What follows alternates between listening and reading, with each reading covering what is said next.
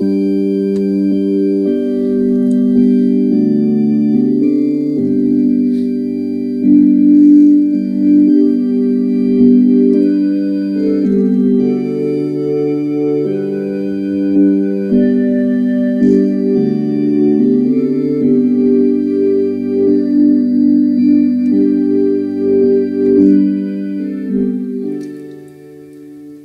Petar, govoreći pod nadahnjujućim utjecajem Svetog Duha, objasnio je stvar da je to bilo od Oca i po Sinu, govoreći Desnicom dakle Božijom uzvišen, Isus, primio je od Oca obećanje, Duha Svetoga, i izlio ga kako i sami gledate i slušate.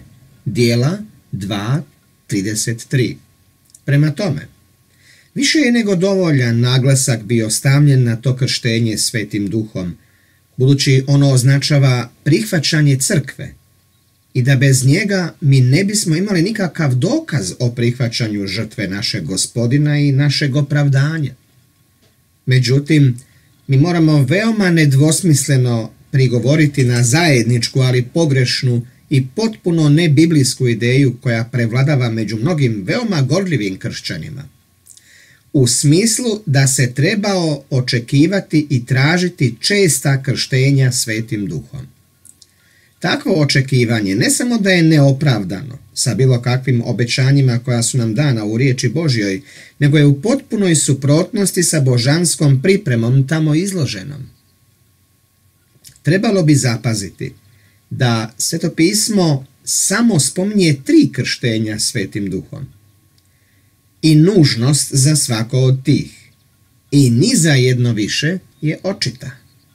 To su tri dijela ili podjele jednog krštenja. Prvo, krštenje našeg gospodina Isusa. Drugo, krštenje na pedesetnicu. Treće, krštenje Kornelija, prvog neznabožačkog obračenika prihvaćenog kao sina. Razmotrimo u tom redoslijedu ta krštenja duhom.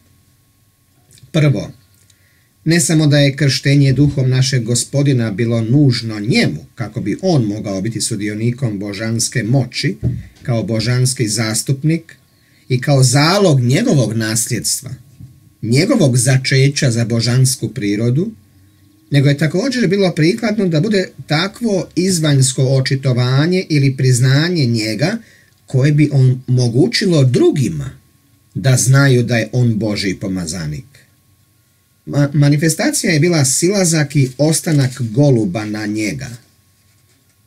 Niti nam je dano razumjeti jesu li ljudi općenito svjedočili toj manifestaciji božanske naklonosti. Umjesto toga mi razumijemo da je Ivan Krstitelj, koji je u to vrijeme vršio reformatorsko djelo u Izraelu i koji je bio priznat za proroka, slugu gospodinovog, sam svjedočio silasku duha na našeg gospodina i on je svjedočio o toj činjenici. Izjava je i posvjedoči Ivan. Promatrao sam duha gdje s neba silazi kao golub i ostaje na njemu. Njega ja nisam poznavao, odnosno nije znao da je on bio Mesija, ali onaj koji me posla vodom krstiti reče mi, na koga vidiš da duh silazi i ostaje na njemu, to je onaj koji krsti duhom svetim. I ja sam to vidio i svjedočim, on je sin Boži. Ivan 1.33 Drugo, kao što Ivan ovdje objašnjava, Krist je trebao krstiti crkvu na pedesetnicu. To je onaj koji krsti duhom svetim. Petar to potvrđuje, kao što smo već vidjeli, objavljujući da je Krist izlio svoj sveti duh. Samo je on mogao tako krstiti, zato što je on otkupio svijet, kupio sve sa svojom dragocjenom krvlju. I zato što nitko ne može doći k ocu osim preko njega. I zato što otac ne sudi nikome, nego je sav sud povjerio sinu. I zato što sin, visoko uzvišen, djeluje kao očev predstavnik, da dovede u potpuno zajedništvo sa ocem one koji dolaze ocu po njemu. Mi smo već vidjeli da je to krštenje crkve sa svetim duhom bilo neophodno kao svjedočanstvo, izjava. Na isti način kao što je bilo neophodno da se svjedoči i posvjedoči krštenje duhom našeg gospodina Isusa. Navaljujući vjetar ispunjava mjesto i razdeljeni jezici kao od ognja koji su posjeli na svakoga od njih, vjerojatno samo 11 apostola, označavajući ih kao gospodinove posebne predstavnike i glasnogovornike Svetog Duha. Vidi redak 14. Nisu bili Sveti Duh, nego samo očitovanja njihovim osjetilima predstavljajući nevidljivo. Slično tome golub kojeg je Ivan vidio nije bio duh, nego očitovanje njegovim osjetilima. Golub, simbol mira i čistoće, prikladno je predstavljao puninu Jehovinog duha, ljubavi u Isusu. Kao što su ognjeni jezici prikladno predstavljali zadatak kojeg su apostoli imali pod svetim duhom, da svjedoče kao svjedoci. Dijela 2.32, 3.15, 5.32, 10.39.41 i 13.31. Treće, posebno očitovanje božanske moći u povezanosti sa prihvaćanjem Kornelija, prvog neznabožačkog obraćenika, bilo je neophodno. Zato jer su pogani do tada bili tuđinci, neprihvatljivi Bogu čak i kao sluge. Stoga židovskim vjernicima ne bi niti palo na pamet da bi pogani bili prihvaćeni na visoki položaj sinova Božih, da nije bila dana nekakva istaknuta manifestacija božanske naklonosti u tom pravcu. Kao što smo već vidjeli, nije bilo u božanskom programu da bi i jedan od pogana bio prihvaćen sve do kraja 70 tjedana posebne naklonosti prema židovima, tri pol godine nakon pedesetnice. Bilješka kaže, vidi studije Svetog pisma, drugi svezak, poglavlje sedmo, kraj bilješke. Od tud činjenica da su obraćenici između pogana imali biti su nasljednicima, dakle jednako sa obraćenicima između židova, nije mogla biti pokazana u krštenju duhom na pedesetnicu.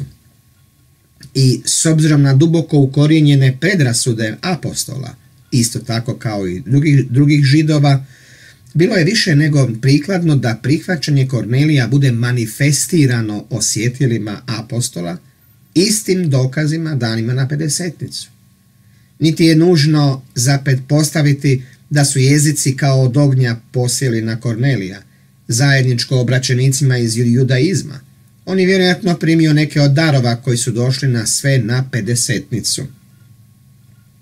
Kako bismo inače ikada mogli znati da su neznabošci bili prihvaćeni od gospodina? Da je krštenje duhom i pentekostalni blagoslov došao samo na vjernike koji su bili od prirodnog sjemena Abrahamovog, to bi nas moglo ostaviti u nedoumici tokom cijelog evanđelskog doba što se tiče položaja gospodinovog naroda koji su po prirodnom porijeklu bili pogani. Međutim, sa krštenjem svetim duhom koje je došlo na Kornelija, gospodin je u potpunosti pokazao činjenicu da više nije bilo nikakve razlike između židova i neznabošca roba i slobodnjaka, muškog i ženskog, barem što se tiče njihovog prihvaćanja u Kristu. Nitko nije prihvatljiv sam po sebi u svojoj vlastitoj nepravednosti, stoga su samo oni koji dolaze k Otcu kroz ljubljenoga prihvaćeni u njemu. Prva Korinčanima 12.13 Pored ovih triju krštenja svetim duhom, ne postoji i koja druga referenca na tu temu u Svetom pismu. Stoga je razmišljanje mnogih od gospodinovog naroda da oni moraju očekivati, truditi se i moliti za daljnja ili ponovljena krštenja svetim duhom sasvim neopravdano. Takva su krštenja posve nepotrebna, zato što jedno krštenje na pedesetnicu, nadopunjeno sa onim Kornelija, ispunjava svaki zahtjev. Ta krštenja nisu došla samo na pojedince koji su uživali blagoslov, nego su reprezentativno bila za crkvu, tijelo Kristovo, kao cijelinu i na nju. Činjenica da je to reprezentativno dijelo za crkvu bilo napravljeno u dva dijela, Najprije na židovskim vjernicima na pedesetnicu i na prve neznabožačke vjernike u Kornelijevom domu, u skladu sa izjavom našeg gospodina Petru prije svog raspeća, kada je rekao tebi ću dati ključeve kraljevstva nebeskog. Matej 16.19 Ključ označava vlast da se nešto od ključa otvori. I ključevi u množini podrazumijeva da se imaju otvoriti više od jednih vrata. Zapravo postojala su samo dvoje vrata i samo dvoje ključeva. I apostol Petar upotrebio je oba ključa, izvršivši djelo otvaranja i za židove i za pogane, kao što je gospodin predskazao. On je upotrebio prvi ključ na pedesetnicu, gdje je on bio prvi glavni centralni govornik koji je uveo novu eru duha za tri tisuće koji su odjednom povjerovali i ušli na vrata. Dijela apostolska drugo poglavlje 37. do 41. redka. Nadalje, kada je došlo određeno vrijeme da evanđelje bude propovjedano poganima, gospodin je u skladu sa svojim izborom poslao Petra da izvrši to dijelo, rekavši Korneliju da pošalje po Petra i rekavši Petru da ide ka Korneliju i da mu govori riječi evanđelja njemu i njegovom kućanstvu. Petar je tom prilikom upotrebio drugi ključ, otvarajući vrata evanđelja pred poganima. Bog je posvjedočio činjenicu sa čudesnim manifestacijama svog svetog duha na Korneliju i drugim posvećenim vjernicima između pogana koji su bili s njim. Ispravno razmišljanje što se tiče krštenja svetim duhom je to o izlijevanju, posipanju, pomazanju, ali koje je toliko potpuno, dakle pokrivajući svakog člana tijela, da je ispravno nazvano uronjavanjem ili krštenjem. I to isto pomazanje ili krštenje nastavlja se na crkvi kroz cijelo doba, pokrivajući, prožimajući, posvećujući, blagoslivljajući, pomazujući od tada pa sve do sad svakoga tko dolazi u pomazano tijelo. I to će se nastaviti sve dok ne bude bio primljen posljednji član i u potpunosti pomazan. Apostol Ivan, govoreći također o tom krštenju, nazivajući ga pomazanjem, kaže, a vi, pomazanje koje primiste od njega u vama ostaje. Prva Ivanova 2.27, Psalam 133, drugi stih. On ne kaže brojna pomazanja koja ste primili, nego pomazanje, jedno pomazanje. Više bi bilo posve suvišno i ne bi bilo u skladu sa božanskom pripremom. Sa božanskog stanovišta cijela je crkva prepoznana kao jedna, kao cijelina. Jer kao što je tijelo jedno i ima mnogo udova, tako je i Krist. A vi ste tijelo Kristovo, a zasebno udovi. Prva poslovnica Korinčanima 12. poglavlje 12. i 27. redak.